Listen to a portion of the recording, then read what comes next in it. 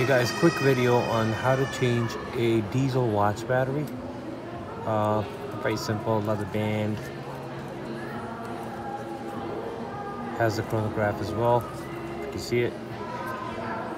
And just change the battery really quick. It, it shouldn't take more than a couple of minutes. Let's take a look at it. Under the band. So this watch, we're gonna do this tool right here. You can find it online anywhere. Amazon, eBay.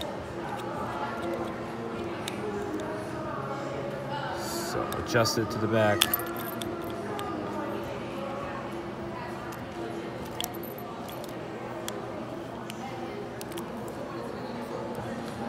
Open it up.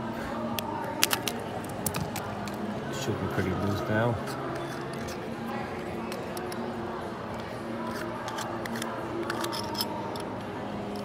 All right. Sometimes the gasket's too loose inside. We could always put that back together. You could just make sure that you don't yank this plastic casing because what happens is that once you do that and that disrupts the machine sitting in its place, the hands will come loose. So it's better to just hold it with your thumb while you're doing it. Use anything to pry it open. Lift it up. And the battery is exposed right here. There's a little metal bar right here. Make sure you hold it down again here and then just lift the battery out.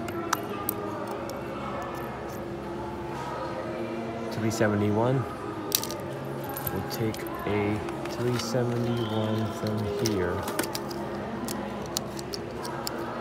We try to use the Renata brand. It's a Swiss-made ba battery. It's pretty good. It will at least give you two years. Take this battery, install it with the plastic casing. Make sure the side's facing this way. Okay. Push it evenly on all sides, right? You could place this gasket, which we took off, right on top where the where it's supposed to be. Make sure it sits nice and just sits like that. Take the back, push it on top, leave it sitting, and try to do it with your hands first before you go to the tool. The tool is usually just to tighten it, but you have to do this with your thumbs in order for it to sit right where it's supposed, it's supposed to sit. And look, it's getting tighter now. That means it's just, it's, it's in the place it's supposed to be.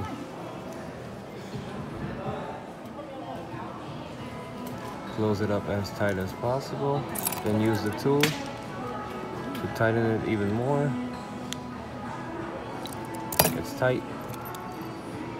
Flip it, see what the time is. Time is 2.53.